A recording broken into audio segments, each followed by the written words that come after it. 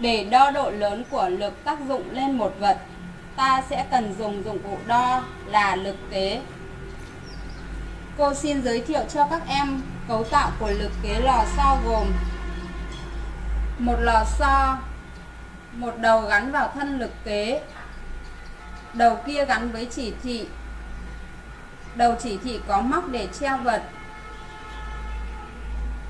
Trên thân lực kế có cái chỉ vạch và các vạch chia độ. Để đo độ lớn lực tác dụng lên một vật bằng lực kế, ta cần thực hiện theo các bước sau.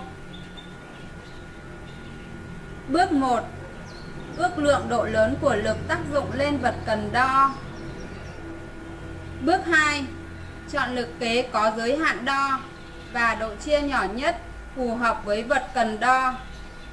Theo các em, dùng lực kế trên để đo độ lớn của lực tác dụng lên vật nào? Vật lớn hay vật bé?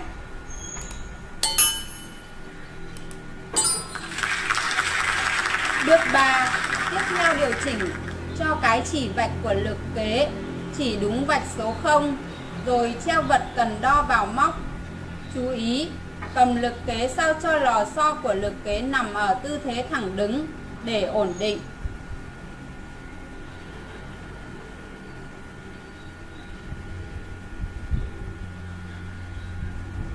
Các em quan sát kết quả và cho cô biết độ lớn của lực tác dụng lên vật vừa đo.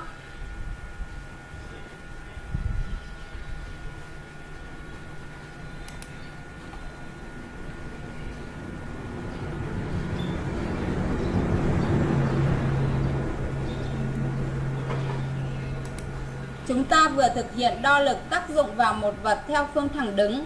Các em có thể đo lực tác dụng lên một vật theo nhiều phương khác nhau. Em hãy lập kế hoạch và thực hiện kế hoạch đo được lực kéo của một vật bằng lực kế lò xo.